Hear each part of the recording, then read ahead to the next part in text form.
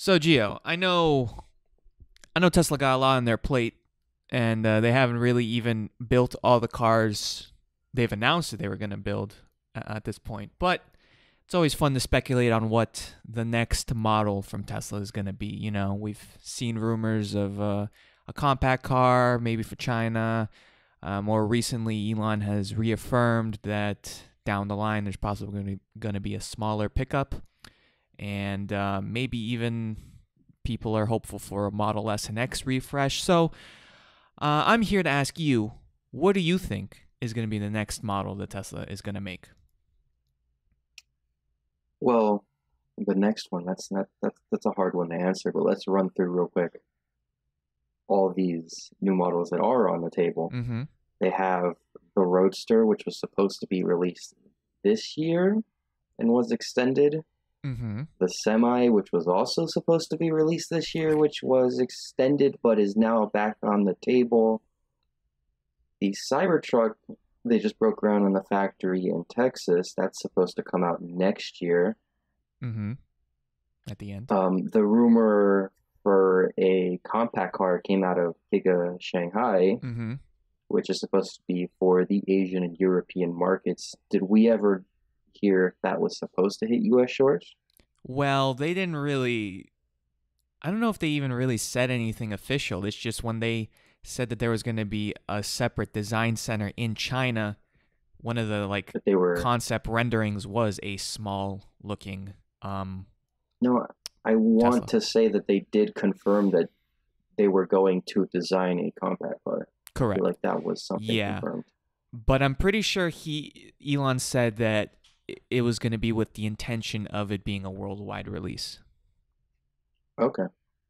Okay, but no timeline was ever set for No. that. No. And even so, Giga Shanghai is how many years away from completion? A year or two? Well, I think they should finish the Model Y portion of the factory by sometime early next year. And then We have uh we have Berlin under construction currently, and that's supposed to be for the Model Y. hmm And what else? What did they report in their quarterly? Is it just the Model Y there? and then eventually the Model 3. The Model 3 and Model Y, and the Cybertruck's supposed to be built in Texas alongside the Model Y. Those are just all con- confirmations. hmm Elon did recently talk about the smaller Cybertruck. That would most likely be for, I think he had mentioned it, it would be for European and Asian markets as well, where smaller cars do better. So I'd assume that would either be built in Berlin or in Shanghai. Well, he didn't specifically said it would be for the European markets. It's just a tweet he was replying to said that Had mentioned it. the person replying the, the person sending the tweet said that a smaller pickup truck would make more sense in the Euro- European market, but then Elon just kind of said that yeah, a smaller pickup truck is down the line, but I don't I don't know if that was enough confirmation to say that it would theoretically only be for the European market. It's true. But clearly, Tesla's not on a path of producing every single car at every factory. They're designating Correct. specific factories for specific cars. And with Shanghai's construction, before it was developed, they mentioned that it would be for the lower end Model 3Y and affordable cars. Mm-hmm. So I don't know. Maybe the, maybe it'll be built in Shanghai. They do have the production space, Mm-hmm. or in the New Berlin. Mm. I don't think it'd be. I don't think it's race. I don't think it's anywhere so, anytime soon. I think that's far out. Yeah. Roadster, we have no idea where that's going to be built.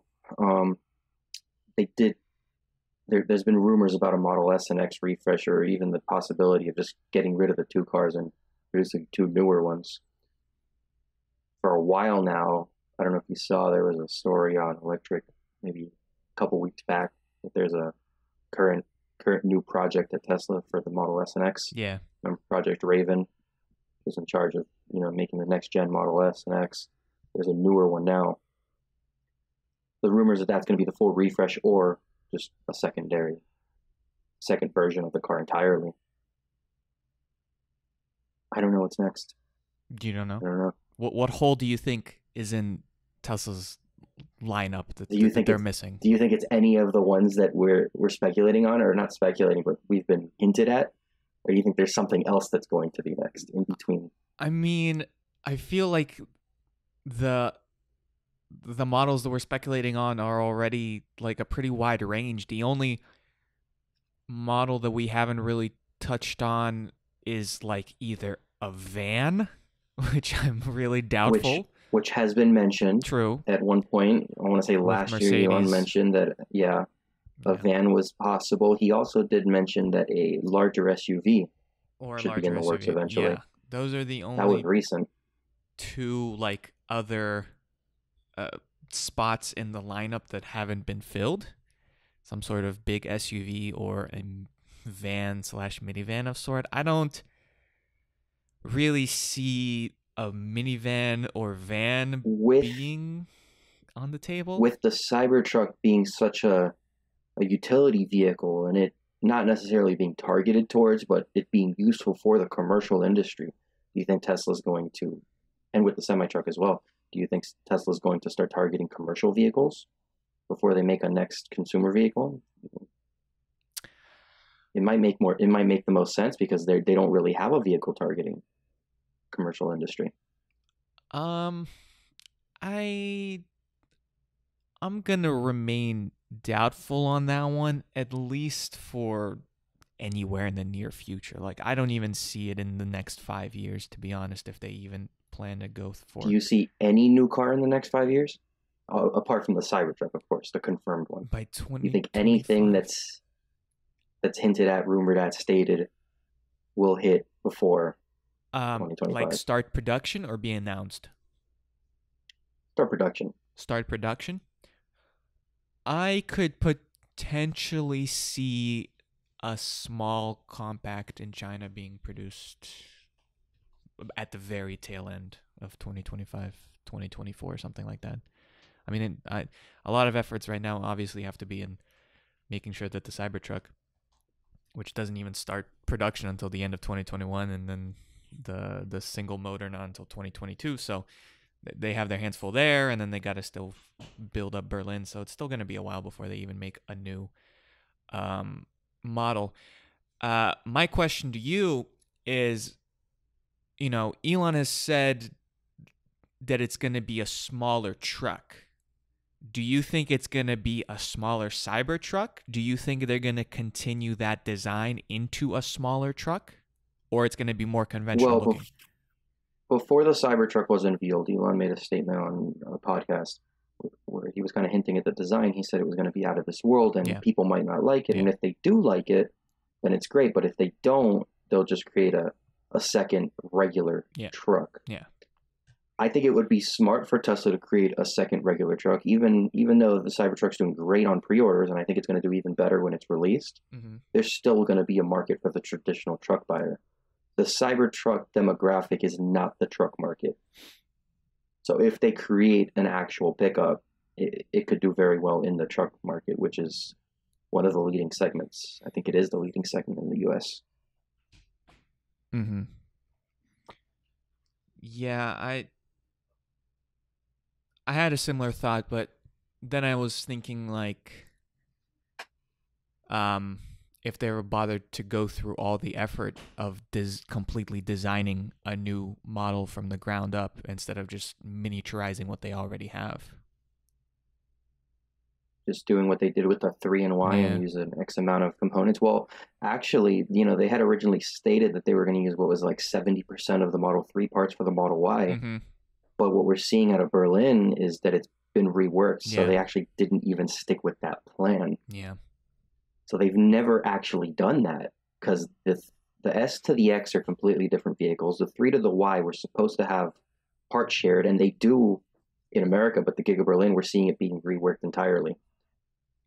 So it's not really a safe assumption to think that they would do it again, especially since they're backing away from that. Here's here's the like more going back to the compact car, a little bit of a a mind melt here is do you think it's going to have low range and be affordable because all these compact cars like the zoe uh, The Zoe. What are some other European compact cars? They all have relatively low range, at least compared to something like a Model 3 at over 300 miles. They're in the 200s, Mm-hmm. which is more than enough for an A to B daily driver compact car. Mm-hmm. These are not cars that are ever meant to go on road trips. But Elon Musk's recent tweet said that under 250 miles is just unacceptable. Mm-hmm. Do you think that's that's going to be a strict policy at Tesla, or do you think that was specified for the Model Y? Is the compact car going to even be affordable if it's got to hit 300 miles? That's that's a lot of battery costs. Some people would rather have an upfront um, upfront savings versus longer range. Right. Well, there's obviously a lot of variables. Um, obviously, time is one of the biggest. Uh, I like we've already said, we don't expect a compact car from Tesla anywhere soon.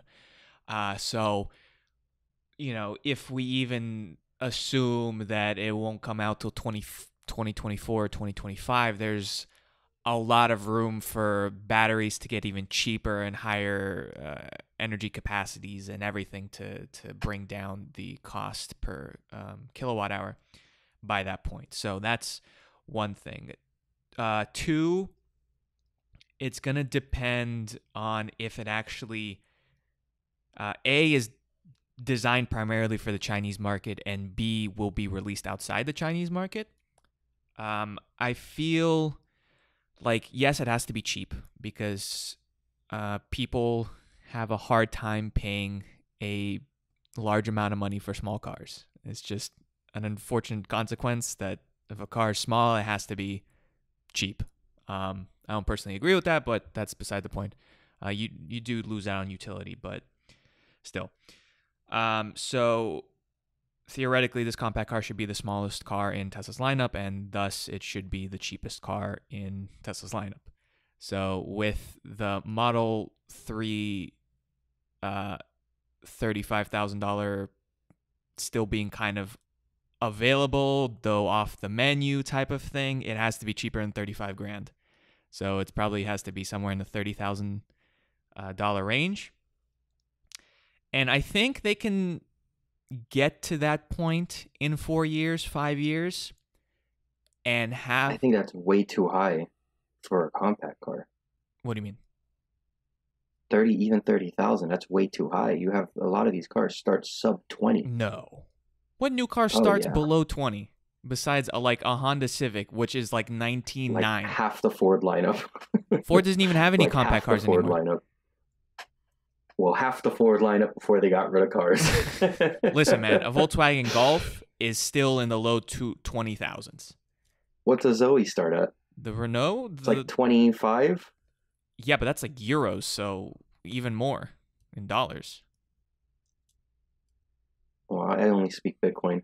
Yeah. Um, well, it well, I'm not I'm not finished. So um I feel like they might bend the rules of their 250 miles being unacceptable for like a Chinese domestic market exclusive one where where being cheap as possible is is important because China has like 20,000 different electric car brands right now vying for people's attention. So I can see like a China specific version of the compact car having like 200 miles of range and being much cheaper than what they'll plan to give the Americans and the Europeans. Um, so that's that's what I see. So yes and no. Do you think that this route in general is a smarter route, moving towards uh, maintaining a higher range over focusing on affordability? Mm. Because there's, you know, 400 miles on a Model S is nice and all, but a, a 200 mile range Model S would literally cost $10,000 less, five to $10,000 less. That's that's a significant amount, Listen, especially on a monthly payment. Listen, man. The first thing, and I know you've seen it over the past two years, the first thing anyone ever sees or talks about when a new electric car comes out is not the price, it's the range. We've seen it. Basically, anyone on uh, Twitter discredits any car with less than, basically what Elon said, with less than 250 miles. The car uh, might as well not exist, regardless of the price. It could, you know, So I feel like at this point in time and for the considerable future, uh, until electric cars actually become the predominant type of car Marketing on the road, the range will be the the much more important metric than the price. I mean, obviously, if the car's like a hundred thousand dollars, then yeah, that outweighs the, the thing. But you know, if the difference is between thirty thousand and thirty five thousand, forty thousand, I feel like the range will be the the the bigger um, number in most people's heads.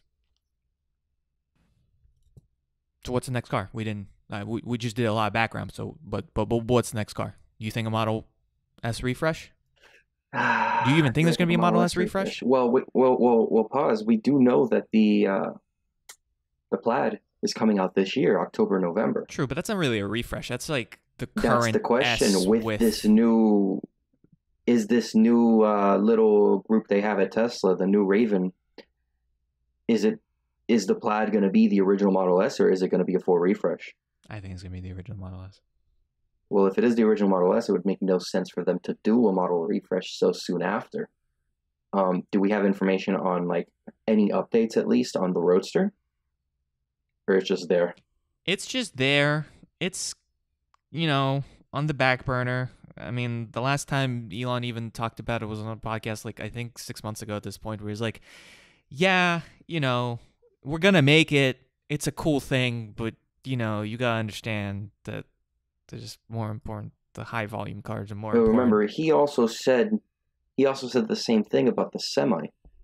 He said in the Q1 earnings, he said we could build the semi right now, but we don't have the battery supplies, and it would take away from three or four Model Threes we could build instead. And now here they are ramping up semi production. Yeah, but I mean, semi has at least some like commercial benefits, and they'll get you know, but the the the Roadster is more of just like a a, a toy. You know, it's just a it's a, it's a supercar, but you know, I love supercars, but in the grand scheme of things, it's kind of like it's kind of like the dessert. You know, there's no protein, there's, Yeah. there's no meat. Well, if if we aren't counting the the Plaid Model S, hmm and we do think that it's going to be the same version of the current Model S, Mhm. just you know, new motors, faster, hmm and we don't count the semi because it's a commercial Right. vehicle. I mean, the Cybertruck's clearly going to come out before any new vehicle. Yeah. So if we don't count that, also, hmm um, question being whether a full refresh on a Model S, a compact core, or something entirely different, Or a small small truck. small SUV. It could be a small truck, maybe a van, um, small truck. I, I think my answer to that is they are going to make a hydrogen uh, pickup truck to compete with the Nikola Badger. I, I think I think Nikola Badger has really got the lead here, and Tesla needs to jump on it before it's too late, and they gotta they gotta take over that hydrogen market. So yeah, that, that's that's the that's I think that's the note I'll end that on. Okay. and for a more serious answer on this side, I'm gonna go with a compact car.